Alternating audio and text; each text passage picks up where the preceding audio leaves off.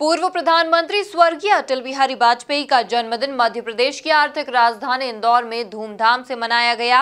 इस मौके पर शिक्षा की दीवार का शुभारंभ भी हुआ। इसके साथ ही नगर निगम के सफ़ाई कर्मचारियों का सम्मान किया गया तो वहीं इस मौके पर पीएम किसान सम्मान निधि के कार्यक्रम का प्रसारण भी हुआ।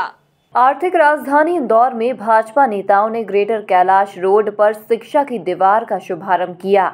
इस मौके पर पूर्व महापौर कृष्ण मुरारी मोघे, भाजपा नगर अध्यक्ष गौरव रणदीवे सहित कई भाजपा नेता मौजूद रहे।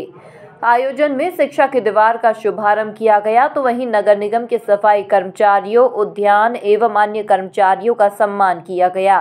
इसके साथ ही मिठाई वितरण और आतिशबाजी की गई।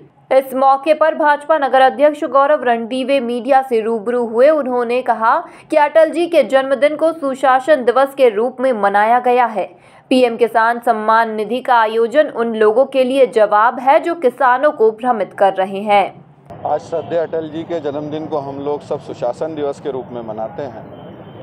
और आज देश के, मध्य प्रदेश के किसानों के लिए बड़ा गौरव और गर्व का विषय है कि पीएम किसान सम्मान निधि के तहत अठारह हज़ार करोड़ रुपए से अधिक, लगभग लगभग नौ करोड़ किसानों के खाते में सीधे आज माननीय प्रधानमंत्री, हमारे देश के यशस्वी प्रधानमंत्री नरेंद्र मोदी जी ने ट्रांसफ़र किए हैं।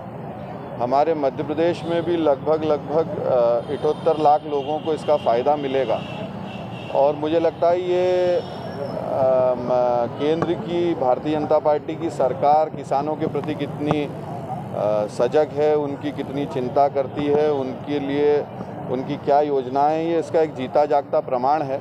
और ऐसे लोगों को एक जवाब है जो किसानों की कुछ एक छोटी टोली को भ्रमित करके देश का वातावरण बिगाड़ने की कोशिश देखा जाए तो आयोजन में अटल जी को याद करने के साथ ही किसानों के हित की बात भी निकल कर सामने आई।